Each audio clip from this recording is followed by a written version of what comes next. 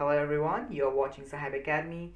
If you like our videos then please subscribe to our channel and also hit the bell icon for the regular updates and also follow us on Instagram Saheb Academy. Now let's go to the video.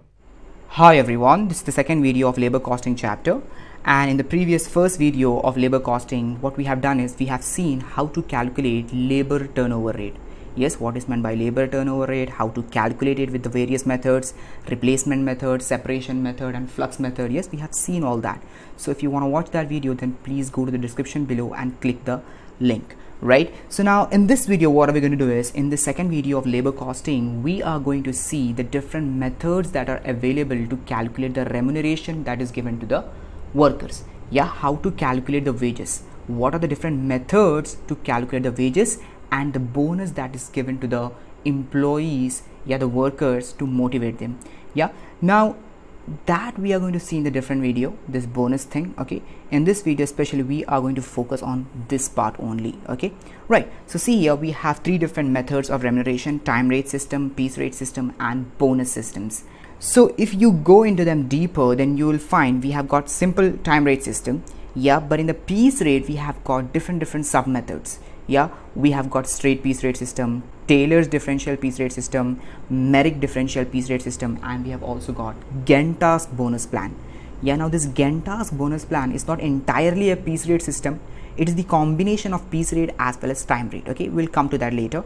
Don't worry. And then we have got bonus systems yeah? How to calculate bonus the incentives that is given to the workers yeah we have got halsey premium plan halsey weir premium plan rowan plan okay? Now in the third video we are going to focus on the bonus systems okay? Now in this video we are going to only focus on the time rate and piece rate. So see it's very simple time rate it's very simple. See here earnings is equal to hours worked into rate per hour.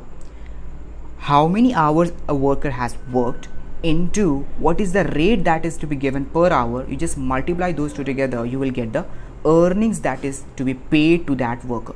For example if a worker has worked for 5 hours 5 hours yeah and let's say the rate per hour is 100 then simple just multiply them together 5 hours into 100 then you will get 500 500 would be the earnings that is to be given to the worker who has worked for 5 hours. Simple as that yeah. The earning will be based on the time basis. How many hours he has worked into the rate that is there fine then we have got straight piece rate simple straight piece rate okay this thing yeah so see here earnings is equal to unit produced. It is based on the production, how many pieces he has produced, how many units he has produced, that worker, into rate per unit. Understood? Unit produced into rate per unit. What is the rate to be given? Yeah, what is the rate that is there per unit produced? Just multiply them two together. For example, see here, Suresh worked for 50 hours, okay, and produced 300 units Suresh produced 300 units and the wage rate per unit is rupees 5. Simple, just multiply them two together, you will get his earnings, Suresh earnings, right? On the basis of straight piece rate. He has produced 300 units, number of units produced, yeah, unit produced is 300, rate per unit is rupees 5. So 300 into 5, simple, 5 into 3, 15, then 0, 0, 1500 would be the earnings of Suresh on the basis of straight piece rate system. So this is how straight piece rate system is. It's very simple, yeah. How many pieces he has produced into the rate that has to be given per unit.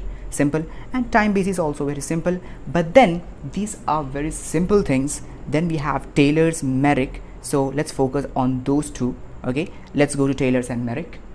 Now here we have the Taylor's differential piece rate system. So now let's understand how are the wages or the remuneration is calculated under the system, right? So first let's understand the mindset of this person Taylor, right? Because Taylor is the person who created the system, right? Taylor's differential piece rate system. Yes. So now according to Taylor, there are only two types of workers, efficient worker and the other one is inefficient worker. And he says that efficient worker should be encouraged by you know giving him more remuneration 120% of normal piece rate and an inefficient worker right he should be penalized. Yeah this person should be penalized by giving less remuneration 80% of normal piece rate. So now whatever normal piece rate is there in the factory or in that company yeah whatever. Now let's say in this example let's take the same example suresh example right? Here the normal piece rate was rupees 5 so now if we employ this system Taylor's differential piece rate system here in the case of Suresh, right?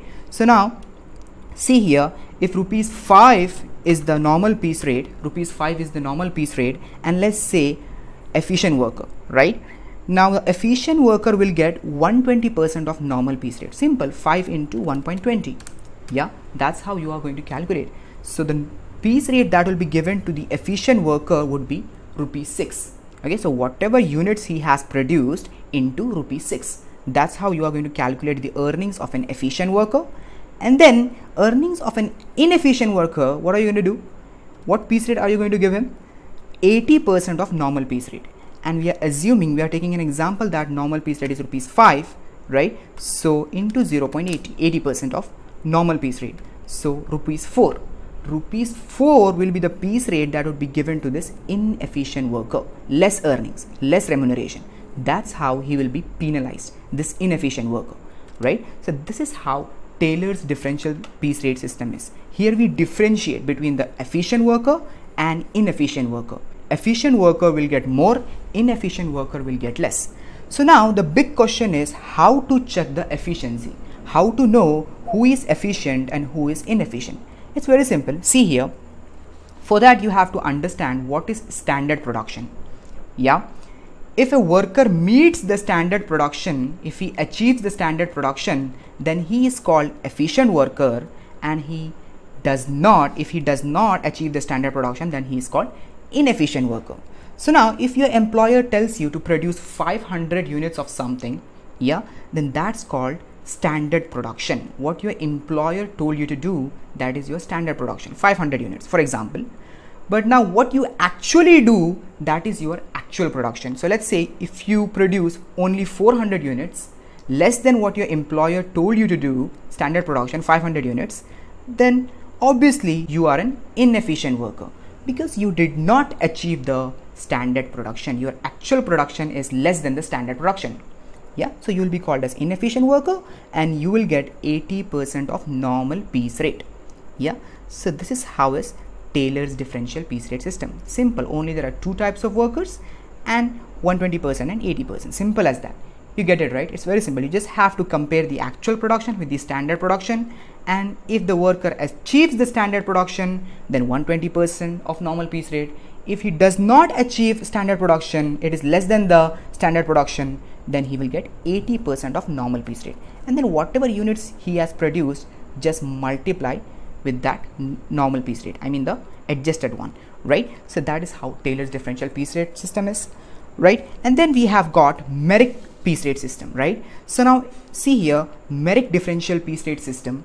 Under this method three piece rates are applied with different levels of performance. Now here also we have three different parameters yeah depending upon the performance of the employees you know the piece rate are you know calculated. So see here performance if the performance of an employee is less than 83% not 83% 82 81 less than 83% then he will get normal piece rate. Yeah in this suresh example he will get rupees 5 as his piece rate. And then whatever units he has produced you will multiply with that piece rate. Yeah he will get normal piece rate. The person who has the efficiency i mean the performance below 83% and then the employee the worker who has performance of 83% to 100% okay 83% to 100% then he will get 110% of normal piece rate. What is 110% it's simple. If 5 is the normal piece rate into 1.10 yeah that is 110% so that is equal to how much? 5.5 yeah. So in that example he will get 5.5 as his piece rate 5.5 rupees. And then if the performance of that worker is more than 100% not 100% 101 102 103 yeah more than 100% then he will get 120% of normal piece rate. Simple as that. Yeah here we have three different parameters okay three different piece rates. Simple. Depending upon the performance you have to go along. Simple. So this is merrick differential piece rate system and here this is Taylor's differential piece rate system. Now let's solve problem on these two.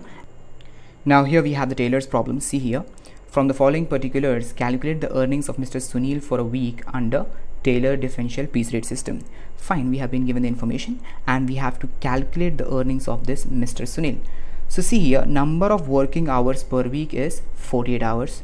right and then we have got time rate normal wage per hour rupees 24 okay what is the normal wage per hour that is given and then standard time per unit 20 minutes. Now what is this standard time per units?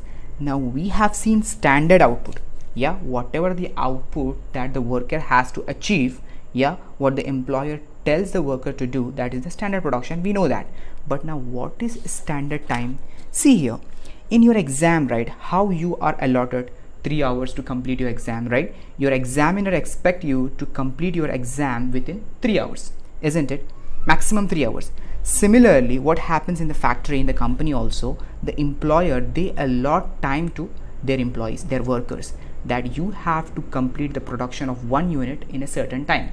That is called standard time. Generally all the workers are expected to complete their one unit of production in this case here 20 minutes. Yeah employer expects that his worker would complete the production of that one unit in 20 minutes okay that is what is standard time. How much time is allotted to complete the production of one unit? That is called standard time per unit. Understood? Simple? So standard time per unit is given 20 minutes. Now why is that given? We'll come to that. Then we have got actual output 156 units. Okay? What this mr sunil has produced in a week that is actual output right? What he has actually produced. Actual production is 156 units actual for a week. Fine now the problem arises here is here we have not been given the piece rate. The normal piece rate is not given. We have given we have been given time rate per hour. Yeah time rate is given normal wage per hour. We have not been given the piece rate. We don't have the normal piece rate and we also don't have the standard production. But that's not a problem. We can easily calculate standard production. See here how we can do that yeah? But first let's focus on the piece rate. We don't have the piece rate also right? So see to calculate the piece rate what you have to do is see here see here piece rate is equal to time rate per hour. Yeah? Whatever that is the time rate that is given in the question you have to take that and divide it by the standard output per hour. Standard output per hour. What is the time rate and how much standard output how much a worker is supposed to complete how many units he has to complete in an hour so now we have time rate that is 24 but we don't have standard output per hour anywhere in this question but we have standard time. So with the standard time per unit, we can easily calculate the standard output per hour. See here, standard output per hour. How will you do that? See, here they have said 20 minutes are allotted to each worker to complete one unit. Yeah. So in an hour, in an hour, a worker should complete how many units? Three units. Simple common sense. Think properly. 20 minutes comes three times in an hour, isn't it? in 60 minutes how many 20 minutes are there 320 minutes 20 20 20 that is equal to 60 right so standard output per hour is 60 minutes divided by 20 see here 60 divided by 20 that is equal to 3 isn't it so 3 units is the standard production. The standard output per hour in an hour a worker is supposed to complete the production of 3 units. That is standard output per hour. So just take that. Time rate divided by standard output per hour yeah. Time rate is 24 rupees yeah. And then standard output per hour is 3 we just calculated that right? So 24 divided by 3 you will get the piece rate. 24 divided by 3 that is the 8 right? So 8 will be the piece rate rupees 8 fine we got the piece rate but then we don't have the standard output we have to check the efficiency of Sunil, right? Whether he is inefficient or efficient. So to do that, what do we do? We compare the standard production with the actual production. Now we have the actual production that is 156, but we don't have the standard production. Do we? No, we don't have. But we have now standard output per hour. Easily we can calculate it standard output also, right? If you have standard output per hour, then just multiply it with the total hours that is 48, you will get the whole standard output isn't it? Simple as that. See here standard output is equal to in a week we have 48 hours 48 working hours right? So 48 hours and we know in an hour 3 units are supposed to be done. Yeah so in 48 hours 144 units are supposed to be done. Yeah employer tells the employee that you have to produce how much? 144 units. Yeah that's the thing here. Standard output will be 48 hours into 3 that is equal to 144 so 144 units is the standard output the standard production. Understood? Yes. So now we have actual production. Yeah we have the actual output and the standard output also. So now what you have to do? Actual output standard output just compare them. Actual output is more than the standard output the standard production. Yeah actual output is 156 so he is efficient. So if he's efficient then you have to encourage him by giving 120% of normal piece rate. And normal piece rate is 8 so 120% of that is 9.60 simple as that. Differentiated piece rate differential piece rate right? 8 into 120% why 120% because he has achieved the standard production right? So that is why we have to give him more. He's efficient worker so 8 into see here simple calculation 8 into 120% 1.20 that is equal to the decimals 9.6 9.60 yeah? That is the rate the piece rate that should be given to Mr. Sunil. Understood? So his earnings would be 156 units whatever units he has produced into the piece rate the differentiated piece rate the differential piece rate 9.60 okay? So 156 into 9.60 that is equal to how much? 1497.6 simple. So that much would be paid to the Mr. Sunil. Simple. First what we did was we didn't have piece rate we had to calculate the piece rate. How? Time rate divided by standard output per hour. Simple. 24 divided by 3 but we didn't have the standard output per hour also but that we can easily understand and calculate. See here standard time is given. Yeah a worker is supposed to complete the production of one unit in 20 minutes. Then in hour he will be completing how much? 3 units. Standard output per hour right? 60 divided by 20 3 units. Yes so 24 divided by 3 that is equal to 8 8 was the piece rate. And then standard output in a week how will you calculate that? In a week we have 48 working hours.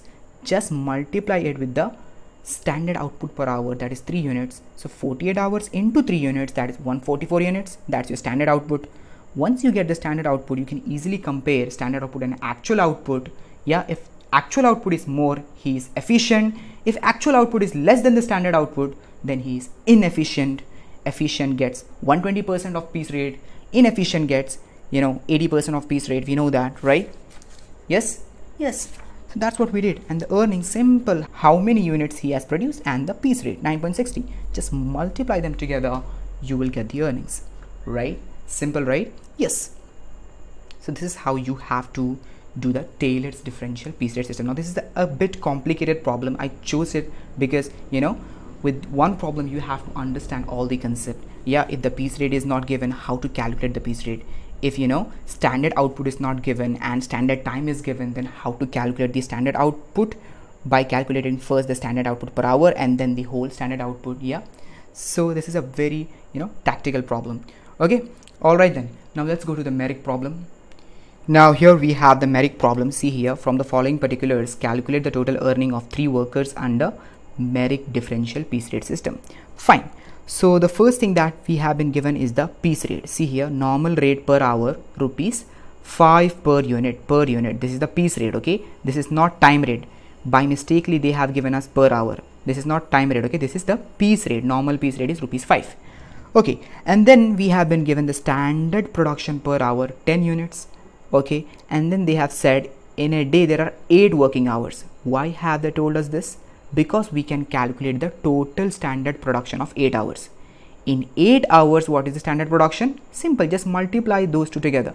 We need the total standard production to calculate the performance of these employees, these workers, right? So 8 hours into 10 units, yeah, standard production per hour, you will get the total standard production. See here, 8 into 10, that is equal to 80. So 80 units is the standard production, the total standard production in whole day in whole 8 hours working day.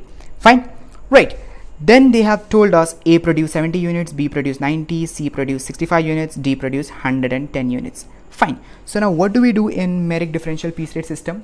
We calculate the performances of each of the employees and depending upon in which parameter they fall in we take the piece rates. Yeah. If it is less than 83 normal piece rate yeah you know that. It's very simple. Yes so how do you calculate the performances? See it's very easy. The formula to calculate the performance is very simple.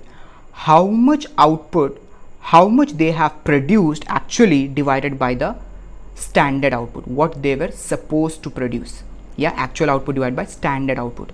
Now actual output of a is how much? 70 units. So 70 divided by 80 what is 80 standard output. We just calculated that right? I showed you in calculator.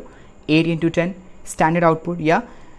He was supposed to produce how much? 80 he produced 70 so 70 divided by 80 into 100 yeah? It will be in percentages the performance. So 87.5 is his performance. And then B's level of performance same thing. Actual output divided by standard output. B produced 90 units so 90 divided by 80 he produced more. Then of course his performance is more. So 90 divided by 80 into 100 112.5 percent simple. Then C's level of performance same thing actual output divided by standard output 65 divided by 80 65 is his production actual production. Standard production is 80 into 100 the percentage are 81.25 percent. See that? Yeah? So this is how you have to do it. Same thing with the D also right? Then you have to see in which parameter they fall in. Yeah? In which category they fall in. Now A fall in which category? This A person this A employee, he falls in the second category, 87.5%. So see here, 83 to 100%, the second category. The second category workers will get 110% of normal piece rate. So A's earnings 70, he has produced 70, piece rate is 5, isn't it the piece rate? It's given in the question, rupees 5. Piece rate is 5. Yeah, the units he has produced 70 into piece rate into what? Into the percentage. What is the percentage? 110 i'll just show you one. See here. A he has produced 70 yeah 70 and then the piece rate is 5 yeah the piece rate is 5 but then in which category he falls in? He falls in the second category so he has to get 110% of normal piece rate. So normal piece rate is 5 yeah so into 1 point what? 1.10 that is 110% so 385 will be his earnings. See here, A's earnings will be rupees 385. And the same things you have to do with the rest all the employees. So B's earnings, how much did he produce? He produced actually 90, 90. The normal piece rate is rupees 5. Yeah.